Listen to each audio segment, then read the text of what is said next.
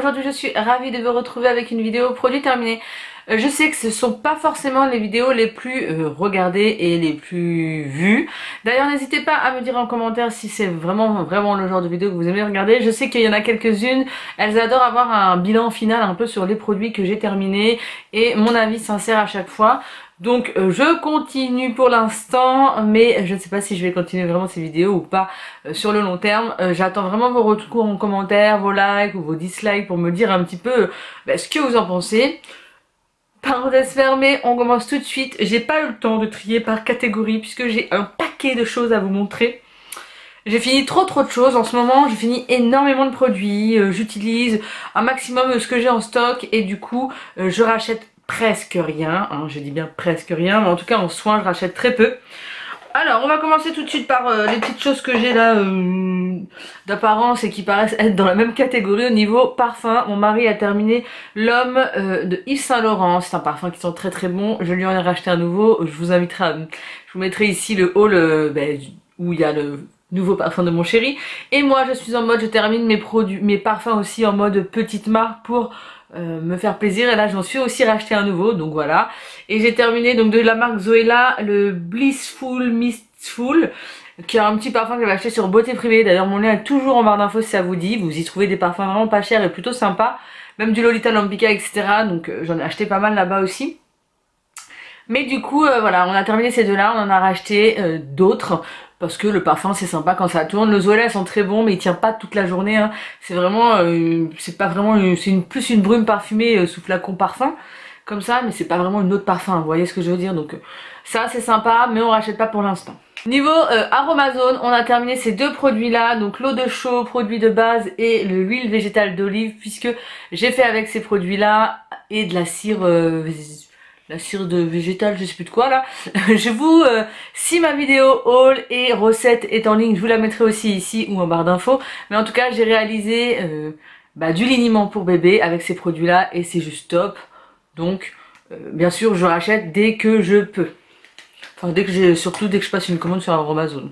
Avec mon chéri, on est en mode aussi, on termine tous les gels douche avec une compo un petit peu moins clean pour après passer à des compos un peu plus clean. Donc au niveau du DOP, on a terminé le douche crème douceur d'enfance au parfum caramel à l'ancienne. Ça sent bon, mais ça tient pas du tout sur la peau. C'est le problème avec les DOP en fait. L'odeur est vraiment agréable, ça rappelle un peu les souvenirs d'enfance comme c'est dit. Mais ça tient pas sur la peau, donc non, j'en ai quelques-uns encore en stock à terminer, mais après je ne rachète plus. Et la pomme rouge, ça j'ai bien aimé moi l'utiliser, c'était une édition de Noël et je trouvais euh, plutôt agréable à utiliser sous la douche, donc euh, ça c'est plutôt cool. Je rachèterai pas parce que comme je vous ai dit je passe à du clean, mais je finis mes stocks, mais les éditions Noël sont quand même plutôt sympas chez Yves Rocher. Pour mes enfants j'ai terminé le Riva Douce comme ça qui est un gel doux lavant corps et cheveux hydratant il ne pique pas les yeux, il est plutôt sympa, il est sans parabènes, sans phénoxyéthanol, il est plutôt bien et d'ailleurs il est de nouveau sous ma douche. Alors je l'ai pas, pas euh, scanné pour voir la compo mais de toute façon comme je vous ai dit je termine mes, mes stocks et après même pour mes enfants je vais vraiment passer à des produits un peu plus sains. Je passais, j'utilisais déjà Velleda mais bon voilà celui-ci euh, il est plutôt sympa quand même. Ça j'ai adoré l'utiliser, c'est un produit de chez Bath Body Works. D'ailleurs je crois que j'en ai un deuxième à vous présenter au fond là-dedans. Donc voilà, comme je vous disais, j'en ai un deuxième à présenter et du coup un coup de cœur et pas un coup de cœur du tout. Euh, celui-ci, donc c'est les chip pour les mains un peu en mousse, euh, un doux savon moussant pour les mains avec de l'huile de moneuil. Celui-ci, il s'appelait le Beach Life Fiji White Sand. Ça sentait vraiment l'ananas quoi. Alors que c'est pas écrit ananas, mais je sais pas, écoutez, ça sentait trop trop bon. Sable blanc, vanillé et ambre chaud, mais c'était juste une odeur divine. Alors que celui-ci qui a une odeur un peu de citron, euh, euh, je sais pas, il n'y a pas écrit exactement ce qu'il y a dedans. Mais alors ça, euh, non, non, Là, ces éditions-là de chez Bath Body Works, si vous avez l'occasion, euh, testez-les parce qu'ils sont vraiment très très très bons. D'ailleurs, il est, il est parti très très vite. J'ai fini pas mal de soins, moi, je, suis à fond dans mes soins. J'ai fini la crème de jour cocodé de chez Hello Body. Je vous avais fait une vidéo, je vous la remettrai ici avec ma routine Hello Body. Et honnêtement, cette crème de jour est sympa, mais n'est pas ultra... Hum, hydratante, ultra lumineuse, c'est pas la révélation de l'année, euh, du coup non non je ne rachèterai pas surtout pour le prix, même si sur le site beauté privée encore une fois vous pouvez la trouver un petit peu moins chère, c'était pas le coup de cœur du, siècle. De la marque Pulpe de Vie, j'ai terminé une huile moussante visage, c'est la deuxième fois que je la termine parce que je l'avais en stock. Je l'aime bien, mais c'est pas la révélation de l'année encore une fois, puisque c'est une huile euh, qui, fois moussante, oui, c'est une huile pour démaquiller que j'utilise sous la douche. Après, moi, j'utilise mon gant euh, démaquillant euh, pour enlever ce, côté huileux. Alors, il est pas très, elle est pas très huileuse, c'est ça qui est pas mal. Elles, elles se font plutôt bien, mais elles démaquillent pas de dingue. La luminosité va jouer avec nous, pardonnez-moi, mais on va pas euh, regretter ce beau soleil. J'ai terminé ma crème Mustella Maternité, vous avez fait un article sur le blog, je vous remettrai en barre d'infos si ça vous intéresse. Comme la première fois que je l'ai utilisée pour ma deuxième grossesse, je l'ai plutôt bien aimée. Elle part vite en revanche. Pareil pour ma troisième grossesse, je l'ai plutôt bien aimée et elle part vite en revanche. Bon, je la conseille si vous aimez bien les produits Mustela. Ça sent pas du tout l'odeur du Mustela euh, bébé, hein. Mais elle est plutôt agréable à utiliser. Euh, elle pénètre pas vite en revanche, mais moi j'ai pas eu de problème de virgiture. Donc je la trouve plutôt efficace. Après elle part plutôt vite. J'ai terminé deux bougies, je crois que même il y en a peut-être d'autres au fond. Euh, deux bougies comme ceci, une de la marque Prodige, euh, l'odeur Nirvana. C'était une bougie, euh, je ne sais plus où est-ce que je l'avais eu, je crois c'est Jodo, quelque chose comme ça, qui est très sympa, c'est pas la révélation du siècle, donc je rachèterai pas. Et balade hivernale que j'ai eu par ma pharmacie, et c'est pareil, c'est sympa, c'était une odeur euh, agréable mais pas folle folle. Donc euh, pareil je suis en mode j'utilise mes bougies un max là pour utiliser après mes Bath Body Works c'est celle que je préfère. Donc j'utilise les petites un peu comme ça euh, pour finir mon stock. J'ai terminé des dentifrices. Alors celui-là coup de cœur je vous en ai déjà parlé 30 milliards de fois je sais pas du tout si la compo est bien, mais bon, c'est le signal à la noix de coco et honnêtement, je l'aime beaucoup, beaucoup, beaucoup, beaucoup. Donc euh, oui, si j'ai l'occasion, je le rachèterai. Euh, mais je l'ai pas racheté encore parce que je finis pareil mes dentifrices que j'ai en stock.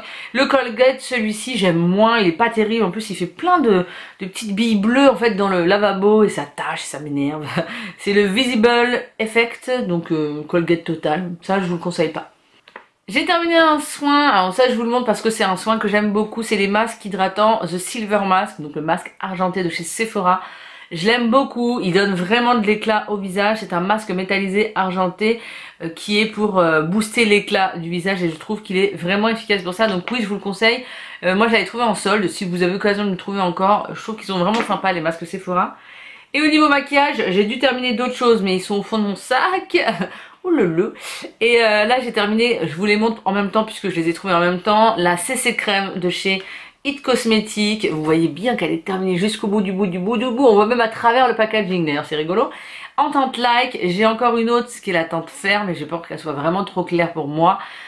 Je verrai bien, mais euh, j'ai bien aimé, mais après elle est couvrante. En fait, c'est pas vraiment une CC crème, c'est vraiment plus un fond de teint. Elle est quand même assez couvrante, mais je sais pas, j'ai pas... Je trouvais qu'elle euh, elle s'en allait assez vite au niveau du tour de la bouche, là, et elle me faisait des démarcations à ce niveau-là, donc... Euh, c'était mitigé encore mon avis. Et le Naked Skin Urban Decay, donc le concealer comme ça, euh, il est plutôt couvrant, mais il filait tout de suite dans les ridules et moi ça m'agace ce genre de choses là.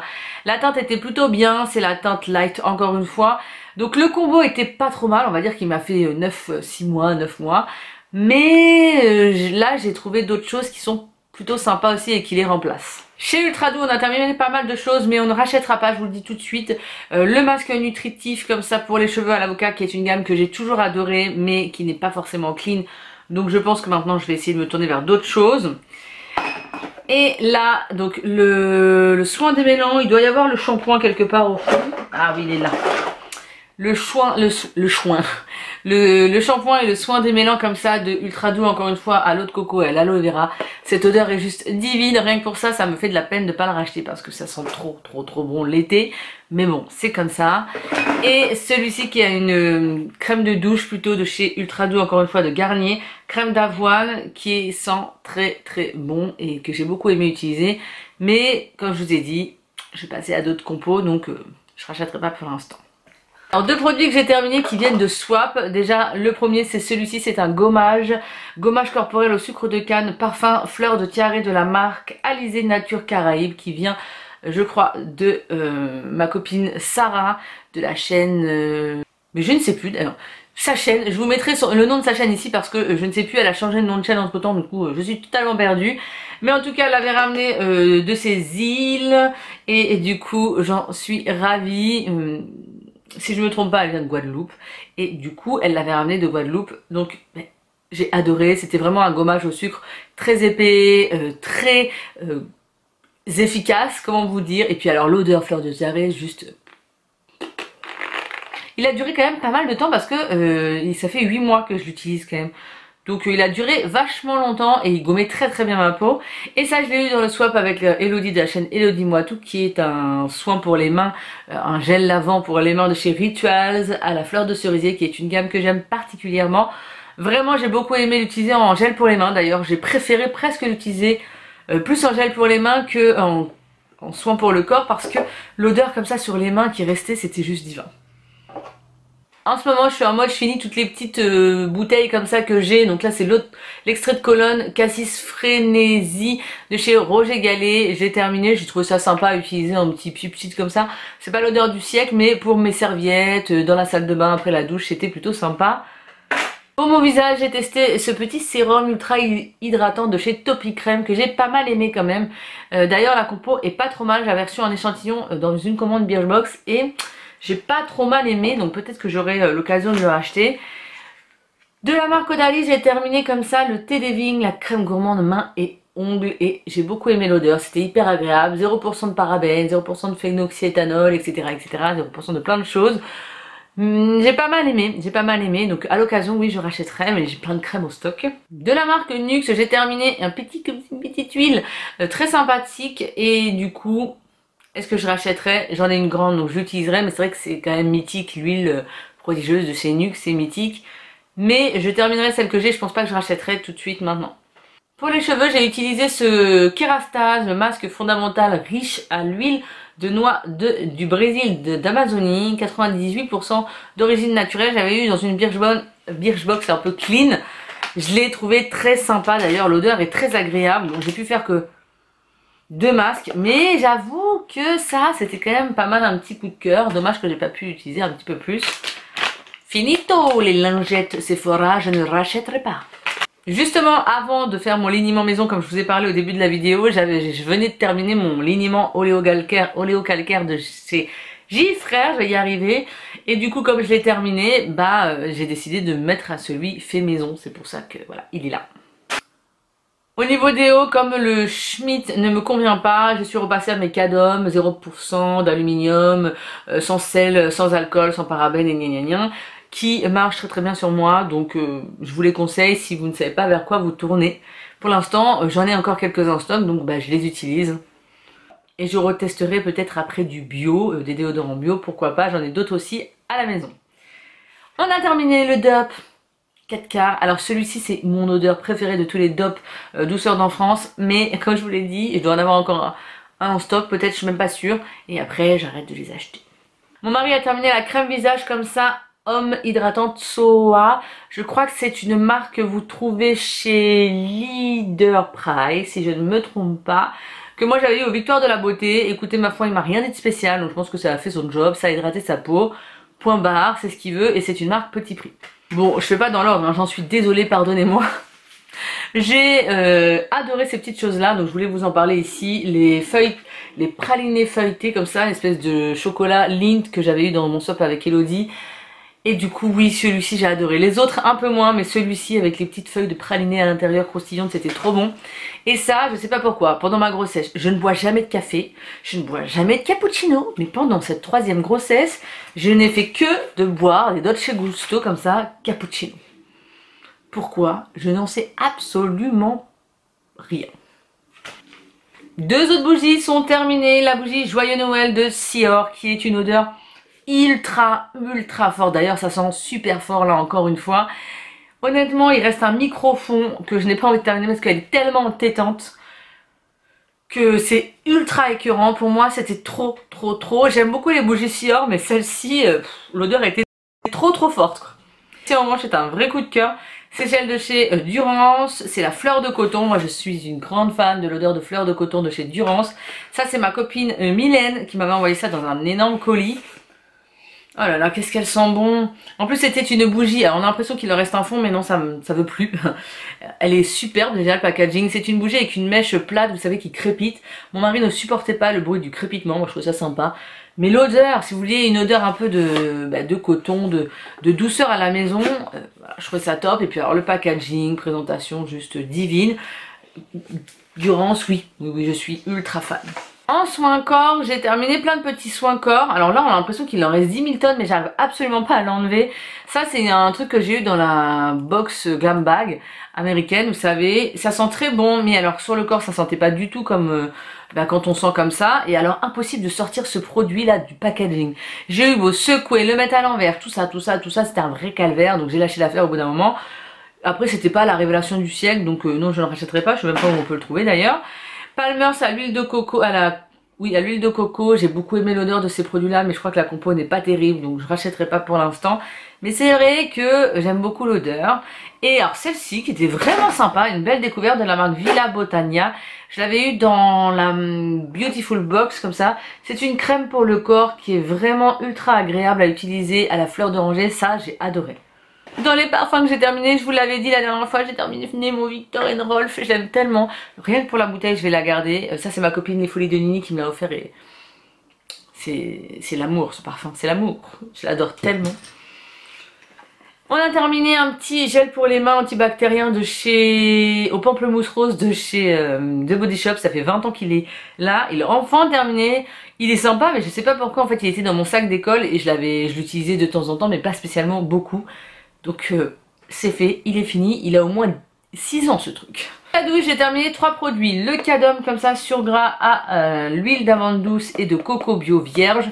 J'aime beaucoup ces cadums sur gras. J'avoue que j'y reviens de temps en temps dans ma routine parce que je trouve qu'ils sont très agréables sur la peau et surtout pour les muqueuses des parties intimes euh, quand j'ai des petites irritations.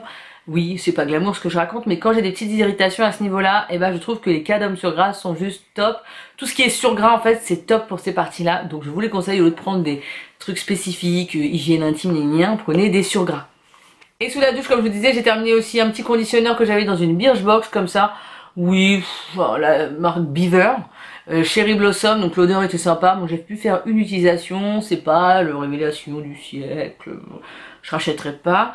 Et alors celui-là de chez Sephora, je l'ai acheté en solde. Je vous remettrai ma vidéo solde ici Sephora ça vous dit. À l'eau de coco, ça sentait pas spécialement la noix de coco, ne vous attendez pas à une odeur euh, qui va wouh Mais euh, c'était plutôt agréable à utiliser sous la douche pour nettoyer la peau, mais je trouvais pas que ça démaquillait euh, beaucoup beaucoup beaucoup, vous voyez. Je préfère les huiles démaquillantes sous la douche. J'ai fini pas mal de choses que j'ai eu dans les Birchbox et ça je suis plutôt contente. Dès que j'ai des petits échantillons qui me plaisent bien comme ça, je me lance et je les utilise. J'ai terminé, j'ai fini d'utiliser d'ailleurs dans la Birchbox la, la fameuse brosse à dents comme ça vous pouvez constater qu'elle est devenue euh, bleue euh, et celle-ci c'était euh, les trucs au charbon machin truc là spécial donc voilà j'ai essayé de me mettre à la brosse à dents en bois j'ai tenté honnêtement je suis pas convaincue. Ok, c'est aussi efficace sur les dents que quand on se brosse les dents avec une brosse à dents normale, mais c'est vrai que moi je suis plus à la brosse à dents électrique, donc euh, voilà. Et en fait, ce qui me dérange, je ne sais pas si ça va être votre cas, si vous êtes une pro un peu, regardez.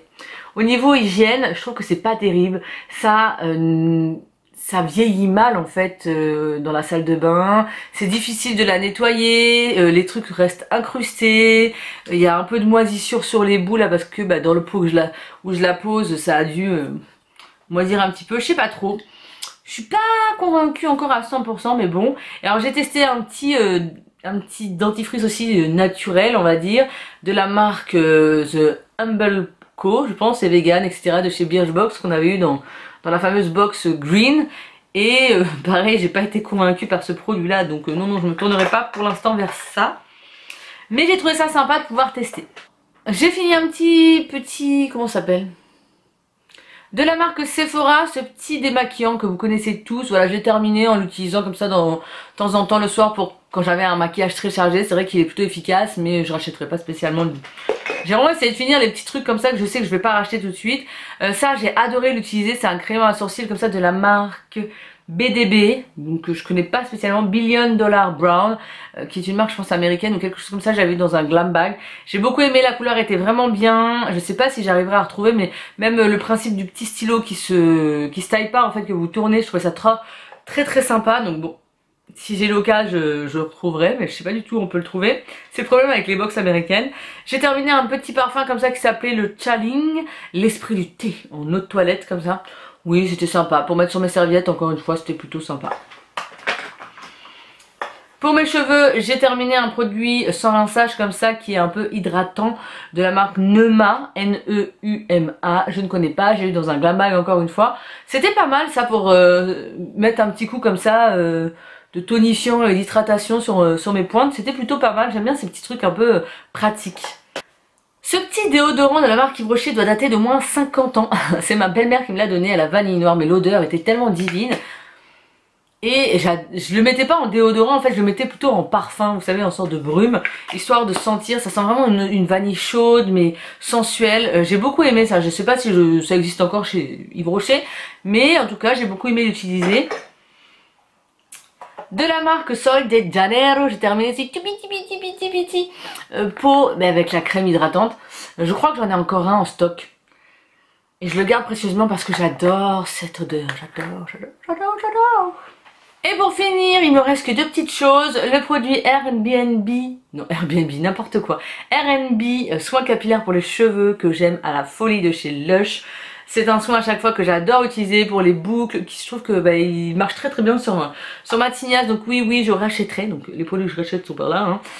Et ça, c'est un cupcake de bain que ma copine euh, Jennifer de la chaîne Jennifer Massion m'avait offert à mon anniversaire. Je l'ai utilisé avec Kayla euh, dans le bain. Honnêtement, il aurait fallu que je le coupe en plusieurs morceaux parce que l'utiliser d'un coup, c'est juste énorme et je vous dis pas après l'état de votre euh, baignoire, après c'était genre une patinoire. Effectivement ça faisait un effet hydratant sur la peau, ça sentait très bon, mais alors l'état de ma baignoire après. Et c'est vrai qu'il y a écrit dessus 2 à 3 utilisations, nous on l'a utilisé en deux fois, mais je pense que j'aurais pu le couper en, en 4-5 morceaux tellement euh, c'était costaud. Voilà pour mes derniers produits terminés, n'hésitez pas donc à me dire ce que vous en pensez, si ce genre de vidéo vous plaît ou pas du tout, si vous en avez marre de les voir sur ma chaîne. Je vous invite à réagir et puis à me dire aussi peut-être vos derniers coups de cœur, vos derniers produits terminés, vos, euh, les choses euh, voilà, vers lesquelles vous allez vous tourner maintenant, ça m'intéresse. Je vous fais des gros gros bisous, je vous dis à très très vite. Salut